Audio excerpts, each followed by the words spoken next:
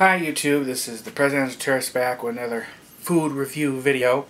I have another one of those Krave bars. This time it's mango jalapeno with fruit uh, and quina, or quina, or however you say it.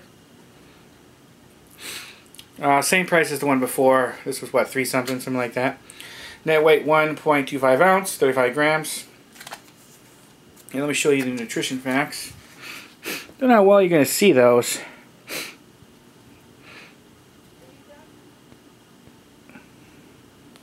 And here's the ingredients. That's what it looks like in the pack. Now let me give it a try and I'll let you know what I think.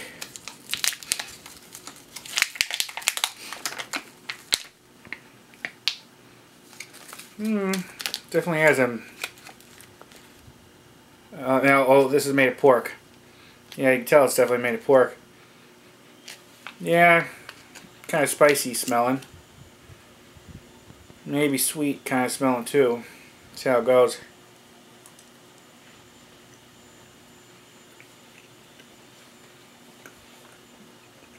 A little dry, but that's good. I like it like that.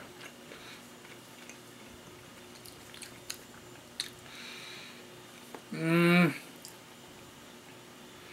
Feel a little spicy from the jalapeno, not too much. Of course, with some others, it may be too spicy for you or not that spicy at all.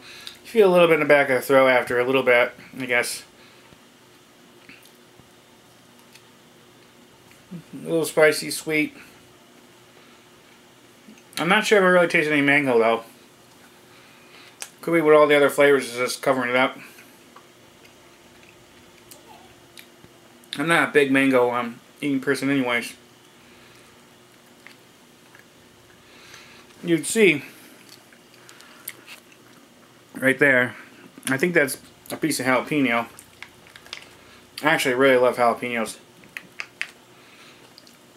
I actually eat them by themselves. I used to not really like jalapenos when I was younger, but as I got older, I started to like them. I can almost eat with almost anything.